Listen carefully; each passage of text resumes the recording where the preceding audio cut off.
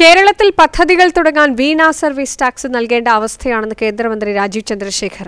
ഇത്രയും അഴിമതി ഒരു സി പി എം സർക്കാരിലും കണ്ടിട്ടില്ലെന്നും രാജീവ് ചന്ദ്രശേഖർ പറഞ്ഞു. ഇക്കാര്യം നിയമസഭയിൽ ഉന്നയിക്കാൻ കോൺഗ്രസ് തയ്യാറാകാത്തത് രണ്ട് മുന്നണികളും ഒരുപോലെ അഴിമതിയിൽ പങ്കാളികളായതുകൊണ്ടാണെന്നും രാജീവ് ചന്ദ്രശേഖർ ആരോപിച്ചു. അവിടെ എന്തെങ്കിലും ചെയ്യണമെങ്കിൽ ഒരു വീണ സർവീസ് ടാക്സ് കൊടുക്കണം. അതാണ് ഒരു പെർസെപ്ഷൻ അതിനെ ക്ലാരിഫൈ ചെയ്യണമെങ്കിൽ അത് മുഖ്യമന്ത്രി വന്നിട്ട് ക്ലാരിഫൈ ചെയ്യണം. അതിനെ ഡിസ്ട്രാക്ട് ചെയ്യാനാണ് മുഖ്യമന്ത്രിന്റെ ഷംഷീർ പോയിട്ട് ഗണപതിയും ഗണേശനെ പറ്റി എന്തെങ്കിലും പറയുന്നത് ആ ഇഷ്യൂവിന് ഡിസ്ട്രാക്ട് ചെയ്യാനാണ് ഇവരെല്ലാം നോക്കുന്നത്. ഇത് അങ്ങനെ ഡിസ്ട്രാക്ട് ആവാൻ പോകുന്നില്ല. ഇത് നമ്മൾ ഹിസ്റ്ററി നോക്കുമ്പോൾ കറപ്ഷൻ കേസസ് സി പി എമ്മും കോൺഗ്രസിന്റെ അടുപ്പുള്ള കറപ്ഷൻ കേസ് നമ്മൾ രണ്ടായിരത്തി ഒമ്പതിൽ ടു ജി സ്കാം മുതൽ ഇപ്പോൾ കാണുന്നുണ്ട്. ഇതും ഈ കേസ് വരുമ്പോഴും കോൺഗ്രസ് അസംബ്ലിയിൽ ഈ ഇഷ്യൂ എടുക്കുന്നില്ല.